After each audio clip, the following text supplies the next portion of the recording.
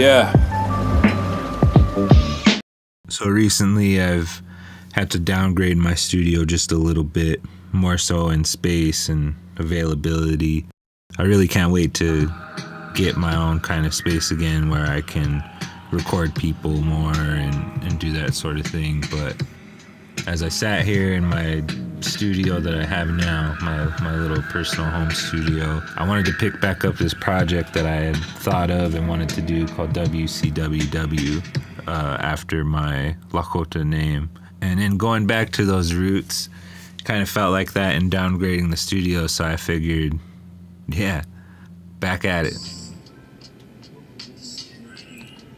And I'm tossing out the Chun Li. Coulda get on one knee. Back from the res, feeling lovely. Rapping since I was sporting onesies. Off to another show, and many loser, huh? You better come see. The nobody's never rusty, just dusty. Because the gravel road loves me. Crushing. Attention, everyone. This is not a test. So it's a Thursday. Uh, it's actually going on towards like four. Every time I'm like cruising like this, especially alone, I just go through everything I'm working on, every album, every everything I'm like pretty much just obsessing over. I'm finding myself now on pretty much the same old roads I grew up on. But now, you know, it's nice to be on these roads and I'm behind the wheel. And like, it's for things that are positive and not so self centered, but that served me as well. So it's cool, man. Like, to work on the albums and stuff while I do this, it, it keeps me in that perspective, especially this album. Like, I didn't expect it to be like this, but the more I've worked on this thing, the more it's just become me in a different way. And that's all I could ever hope for. Thank you. Rest in paradise, me soon.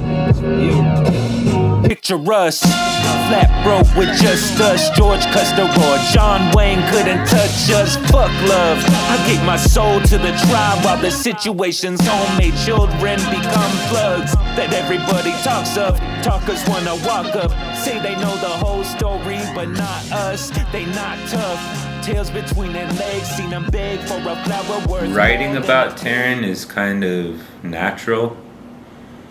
He just springs up, and you know, it's like it's kind of bittersweet. You know, it, it's like look at this beautiful warrior I get to shout out in my song and have behind me in spirit, but at the same time, it's it is heart wrenching to do it.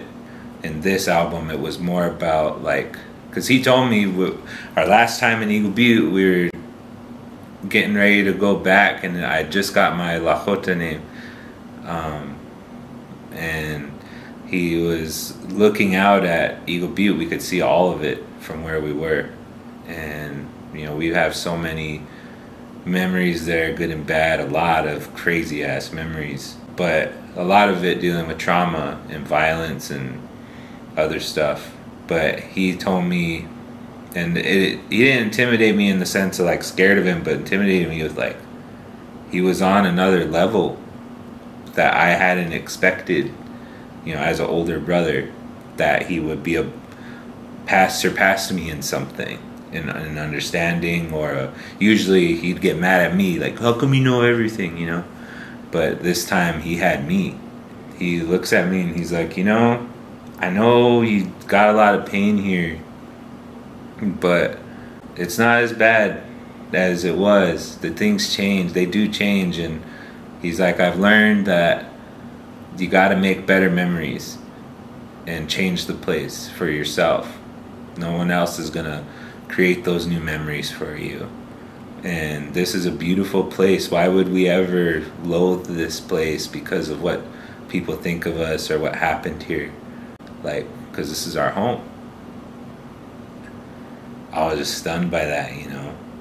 So like when I do songs like Wanawaching where I'm like, I wanna be free, I wanna be me, I wanna be everything we used to be.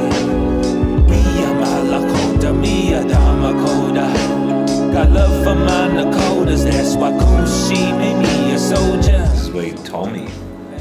And it feels good because it's like I get to kind of continue some of those messages he had, as well as pay tribute and homage to him because I don't want to just live off of his name. That's uh, the, the mere thought of that makes me not even want to write him in any songs anymore. That someone would think that.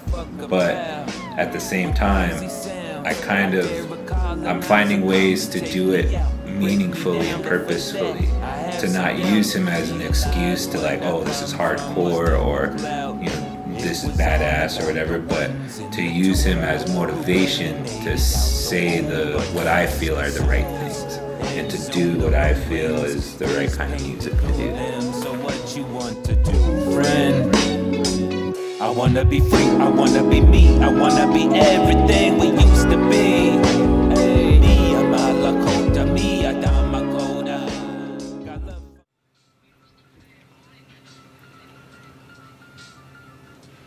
Walking like I ain't afraid to try, ain't afraid to try, no. Walking like I ain't afraid to die, ain't afraid to die, no. Walking like I ain't afraid to fly in the vacant sky, no. Walking like I ain't ashamed to cry, walking in the ice storm. Probably still never take any rest day, test day, anxiety, to shunk about the rent paid, headspace, sash. like my brother used to say that. Taryn used to say that a lot. because we had heard older people like us say it. and they'd say it's a hard but beautiful life. So, when I think about like music that I make, I want it to represent me. So it's like it's a hard, but it's a beautiful life. I want to try to bring music that represents for the gutter and the the chaos, but that advocates for peace and for a sense of like I don't know if it's acceptance. I don't think it's acceptance, but when I make an album like this, it's more about like not asking for acceptance but giving it. No one else is gonna give it. So it's like I have to through my own way, and this is like the only way I can find that acceptance. to find and create new Ladies and gentlemen, welcome to the main event of the evening. The following contest is a no rules match set for one fall with a 50 minute time limit or cassette tape time remaining. Introducing first, from Bad Nation, South Dakota, weighing in at 17 tracks, he's your favorite